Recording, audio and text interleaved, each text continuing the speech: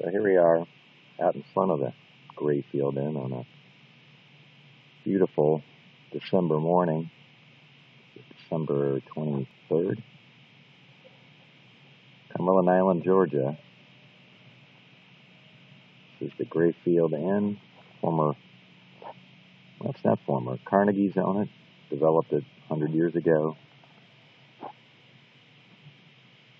Cumberland Island's the size of Manhattan, and the Carnegie's owned 90% of it at one point.